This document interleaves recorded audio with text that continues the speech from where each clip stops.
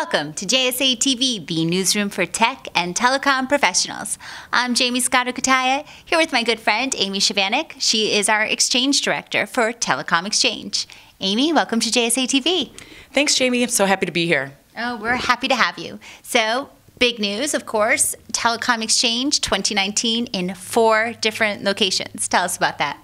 Yeah, we're as Jaymie said, we're expanding to four locations in 2019. We're very excited. Uh, we're heading Q1. We're heading to Dallas for a Dallas pop-up. Q2 will be in New York City, back at our anchored event. Uh, Q3 we're going to be in Toronto, and Q4 we head back to LA. So I remember last year there was a lot of talk about TEX 2.0, and now this year you said TEX pop-up. So tell us. Uh, Tell us the evolution here.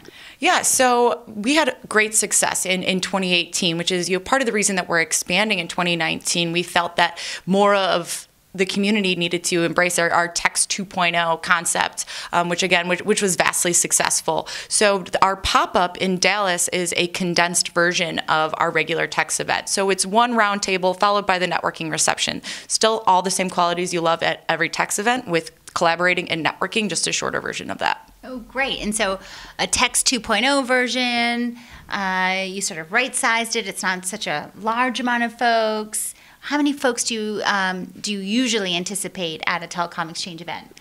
Yeah, typically we get about 150, 100 to 150. Uh, New York will get closer to 200, uh, just, you know, again, because that is being our anchor event. Um, but yeah, that's, it, like you said, it's right sizing. It's about the quality of people in the room that we draw. And so you guys are looking to attract uh, thought leaders?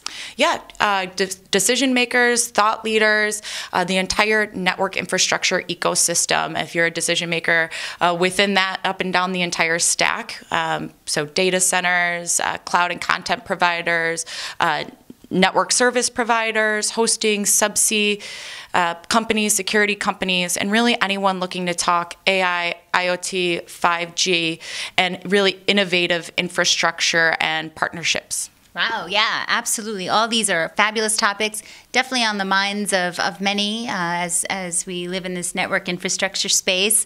So I, uh, I, I love what you're doing there. So, um, what do you see as the major difference between Telecom Exchange and other networking events out there? Um, I'll keep this one short and sweet collaboration, community, and accountability. Something else that we, we can bring that no one else does. So accountability, how do you manage that one?